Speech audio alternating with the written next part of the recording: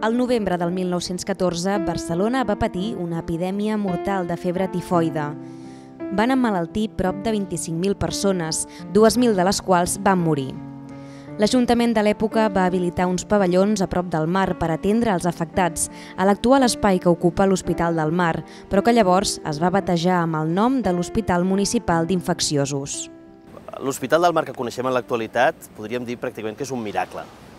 Uh, fa 100 anys això era una zona molt perifèrica de la ciutat. En el passeig marítim encara tot just estava urbanitzant. Uh, la zona de l'actual Vila Olímpica era un gran centre, centre fabril, per tant encara les fàbriques, les xavanelles que, que hi havia, i la comunicació d'aquest hospital amb la resta de la ciutat era molt dolenta. Amb el pas dels anys va deixar de ser un centre estigmatitzat, fins a esdevenir actualment un dels quatre grans hospitals generals de referència de la ciutat. Un dels trets més importants que el caracteritzen és la facilitat que ha tingut per reaccionar ràpidament davant d'episodis com el de la sida o la drogodependència.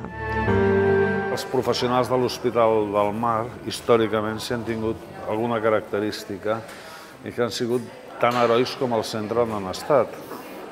És a dir, que tots hem estat molt implicats personalment i emotivament i no treballem a l'Hospital del Mar, vivim a l'Hospital del Mar i el nostre compromís amb la nostra institució és altíssim i volem deixar un hospital a altra gent que arribi, que se'l senti com seu i que segueixi amb molta empenta per tirar tot això endavant. Conciliar un nivell de proximitat amb el veïnat de l'entorn per les coses senzilles, amb un nivell de desenvolupament de les tècniques complexes, això no és fàcil i no és fàcil equilibrar-ho ni des del punt de vista de l'organització ni des del punt de vista econòmic. No? I jo crec que aquí doncs, això se n'han sortit força, no? se n'ha sortit l'hospital amb els anys i ens n'estem sortint ara també. L'actual vincle de l'hospital amb la recerca mèdica i la docència és clau per construir el futur del centre.